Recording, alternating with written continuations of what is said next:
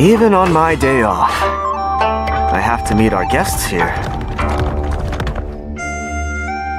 Greetings, everyone. In today's video, we will be taking a look at the fourth member of the Husbando Bandits, Azure Lord, Mengzhang.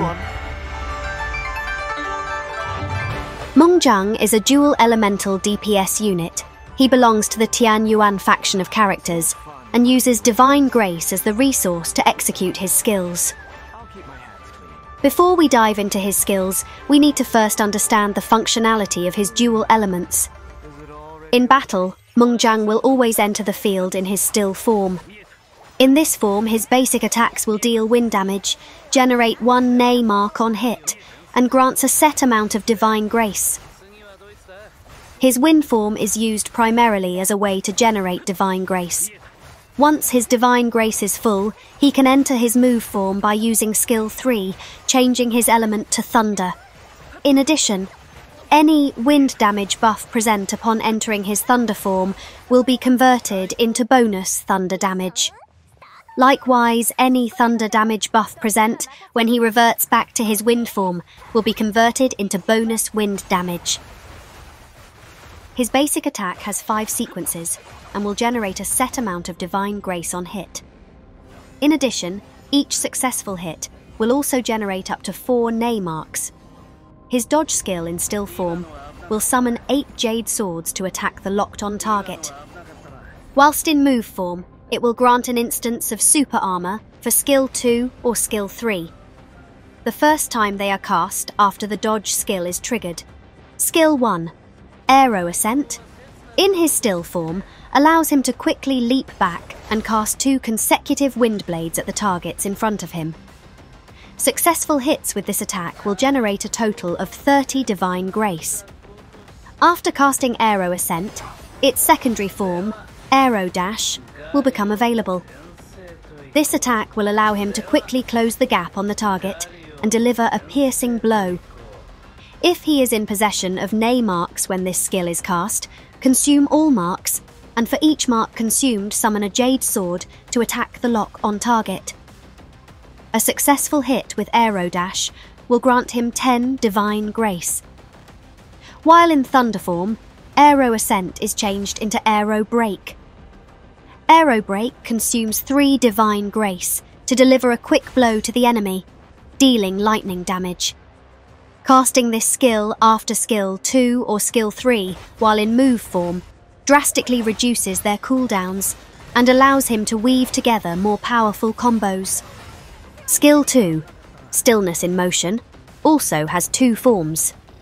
In still form, this ability will block all incoming damage on cast and summon multiple Jade Swords to attack the locked on target. While this skill is on cooldown, successful hits with his normal attacks will summon additional swords to attack the target. In addition, wind damage is increased by 0.4% and stacks up to 28 times. While in move form, this skill is changed into Stillness in Motion Thunder. Stillness in Motion Thunder expends 5 Divine Grace to deliver two consecutive blows dealing thunder damage. After this skill is cast, Skill 1 Aero Break can be weaved into it to perform an extended combo. Skill 3 Eternal Prosperity Wind is used to enter his move form and can only be cast while his divine grace is full. On cast, Mung will quickly gather nearby enemies with his wind ability, before teleporting behind them, delivering multiple strikes of lightning to the surrounding targets. After the skill is cast, all Naymarks will be removed, and the skill's cooldown is reset. After entering the move form, skill 3 is Change into Eternal Prosperity Thunder. Eternal Prosperity Thunder consumes 15 or all Divine Grace, if less, then 15 is present, to deal a powerful thunder strike using both sword and sheave, after which multiple lightning strikes will descend on the target. Eternal Prosperity Thunder can be extended using Aero Break. Once Divine Grace reaches zero, he will revert back to his still form. His ultimate, Dragon's Lunar Mansions, uses the power of wind and thunder to strike the enemy with a powerful lightning strike.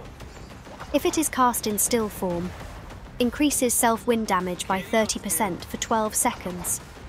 And if cast in move form, increases self thunder damage by 30% for 12 seconds.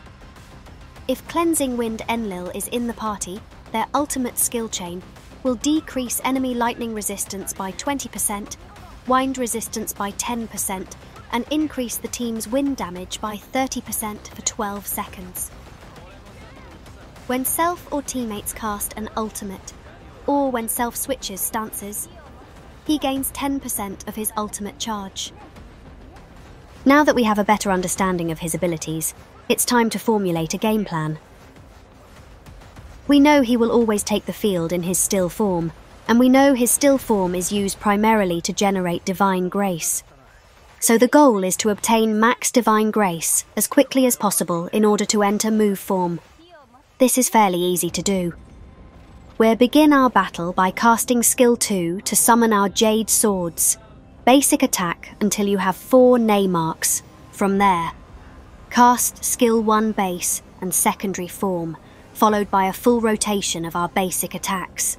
Cast skill 1 once more when it becomes available, and continue basic attacking. You should have max Divine Grace before skill 2's cooldown ends. Once you've gathered enough Divine Grace, you can enter Move form by casting skill 3. In Move form, or his Thunder form, things get a little more interesting. There are three things you need to keep in mind while in Move form. 1. Skill 2 and Skill 3 are the main skills, with Skill 3 being our strongest ability, so all combos need to begin with the casting of either Skill 2 or Skill 3. 2. Skill 2 and Skill 3 cannot extend each other, so do not use Skill 2 as a follow up to Skill 3, and likewise, don't use Skill 3 as a follow up to Skill 2. Doing so will instantly send them into their respective cooldowns. Casting these two skills back to back in move form is essentially the equivalent of casting Tsukuyomi's skill 3 on an enemy with no mark. Except Mung's skill 3 has a 20 second cooldown, so do keep that in mind. Lastly, skill 1 is your combo extender and is the only skill you should cast after casting one of the main skills. After casting skill 2, skill 1 can be weaved in two times, and after casting skill 3, Skill 1 can be weaved in up to four times. The guideline for combos are numbers with no spaces means the skills need to be cast in quick succession. If a space is present, it means allow a short delay before casting the next skill. With that out of the way, the combo for his move form are as follow. You will be losing Divine Grace passively on Blue Code, so the timing can be a bit tight here, but practice makes perfect. Ah!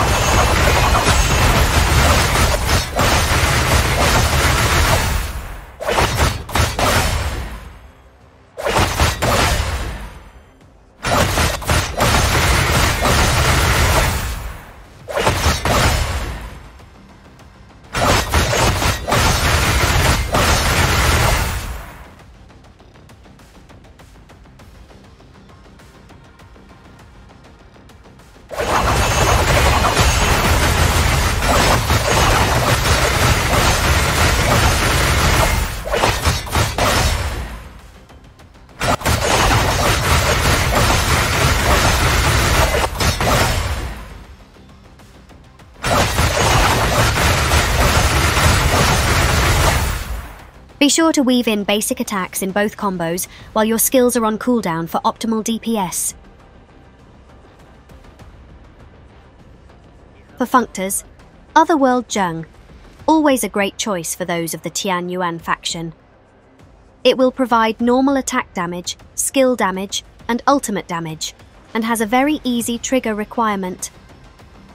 His signature functor, Otherworlder, Kui, will increase his wind damage increase the amount of bonus damage he gained from his passive's conversion, allow him to shred both wind and thunder resistance, and increase his crit rate and crit damage.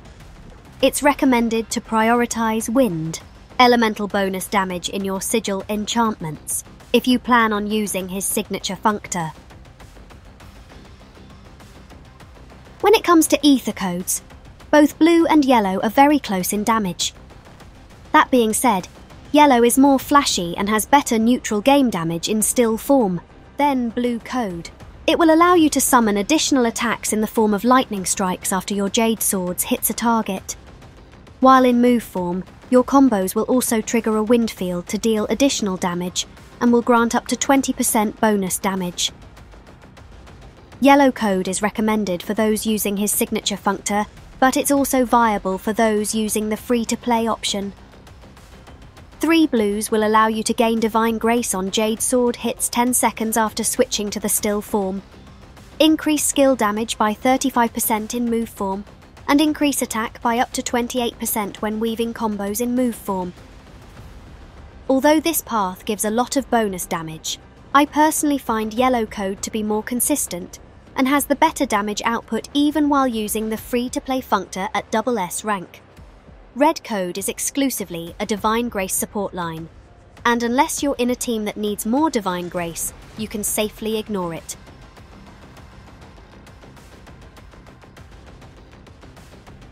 The new set, Ashen Dragon of the Desolate Sea, is tailor made to make use of his dual element nature. It will increase wind damage by 10% after a lightning attack hits. The mod's crit rate is increased by 15%. Increase instantaneous lightning damage by 7% when lightning attacks hit. And finally, increase instantaneous wind damage by 7% when wind attacks hits. So slot this set into slots 1, 3, and 5. Acheron's Obol is a great choice for slots 2, 4, and 6.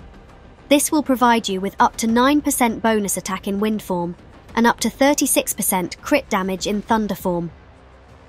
These effects can temporarily overlap, but the window for it is pretty tight since he can only gain Divine Grace in wind form and consume it in thunder. Our second option for slots 2, 4, and 6 is Night Owl's Raid. This set can increase melee attack damage by 10%, skill damage by 5%, and basic attack damage by 15%. For enhancements, if you have his signature functor, you can prioritize bonus wind elemental damage, since every 1% wind damage you'll get gets converted into 1.1% thunder damage. The higher your functor transcendence, the greater the gains from this conversion. Apart from that, do not use any bonus thunder damage enchantments. Instead, go for attack, skill damage, crit rate, and crit damage. Warps gives you the freedom to personalise your characters in a way that best fits your playstyle. As such, the ones I recommend may not be the best ones for you. But if you want my recommendations, they are as follows. For slots 1 and 2, we want 2 power up melee, and two executioners. The two melee mods because we do rely heavily on our melee attacks in wind form, and the two executioners for a 18% damage buff against enemies at 40% HP or lower.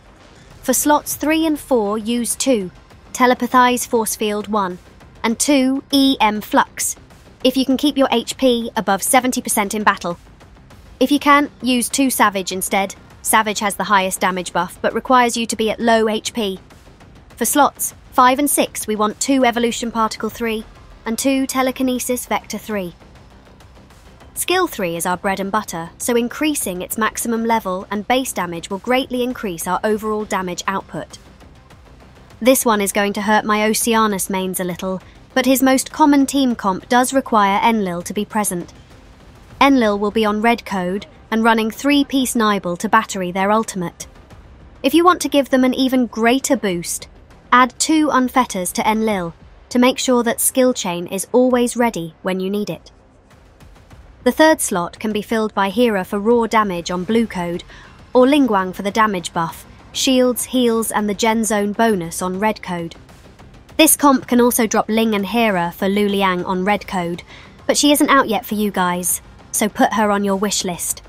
Of course, his most premium team requires you to go full Tian Yuan, making use of both Ling and Gengchen on red code. Gengchen will drop next patch for you guys, so add her to that wish list as well. This comp is as deadly as it seems.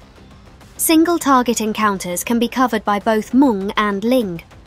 And multi target encounters are pretty much trivialized by Gengchen, allowing you to cover any scenarios. You can also make use of your Kotachi and Bastet combo with him since they can armor break, and their ultimate skill chain shreds both wind and thunder resistance. In closing, Azure Lord Mengzhang emerges as a captivating character and a welcomed member of the Husbando Bandits. From his appearance that undoubtedly resonates with Sasuke Uchiha fans, to his dynamic and at times complex skill set, which strikes a perfect balance between flashiness and functionality, providing an experience reminiscent of traditional fighting games like Tekken or Soul Calibur. He does present a small challenge to those who have become well acquainted with the Unga Bunga nature of some of the modifiers in the roster, but it's an enjoyable experience nonetheless. In essence, Azure Lord Mengzhang stands as a testament to the skill and creativity of Aether Gazer's dev team. Something I sure we all hope we'll see more of, moving forward. さて、ちゃっちゃと終わらせよう。これも策のうちさ、見えた。今のは危なかったな。